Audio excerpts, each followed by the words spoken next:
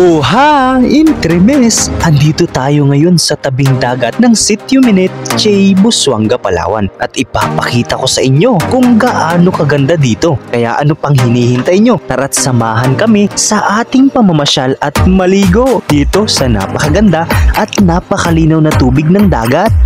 Mas malinaw pa sa relasyon nyo.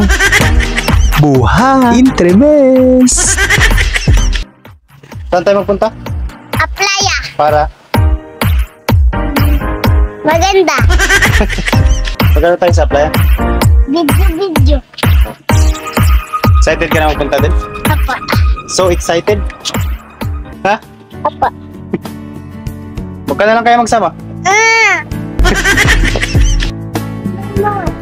Ay, ang ating munting kantin.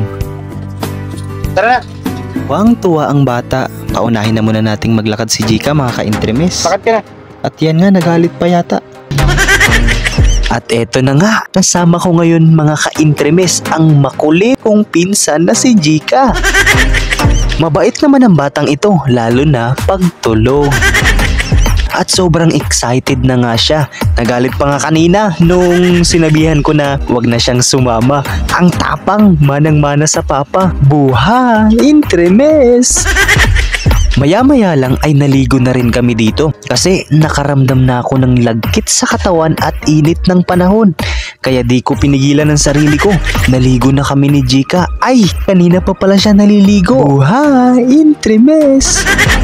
Dito sa J, pangingisda ang isa sa ikinabubuhay ng mga tao. May mga naglalambat, may mga namamana or mas kilala sa tawag na spur fishing.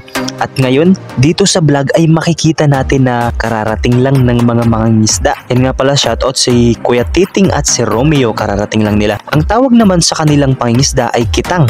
Maraming maraming kawil. Mahigit isang libo. May iba pa nga, limang libo. Limang libong kawil, di ba?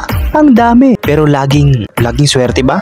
Syempre hindi. Minsan hindi marami ang huli. Talagang darating ang pagkakataon na konti lang huli. Swerte-swerte lang. Depende sa pahuli ng isda. Pero ganun pa man, ang pangingisda ay sobrang laking tulong sa atin. Ang sarap kaya ng isda, lalo pag sariwa. Ang sarap sa inihaw, sa sinigang. Minsan pa iba kinikilaw nila. Pero mas masarap yung sariwa na tapos bigay lang. Buha, intremes. Opo, pwedeng bigay lang. Dito kasi uso yung salitang bais o hingi. Sasalubong ka lang sa mga bangka at tutulong magbuhat. Aba, bibigyan ka na ng isda. Pero hindi naman yung mga class A na isda. Buha, intremes.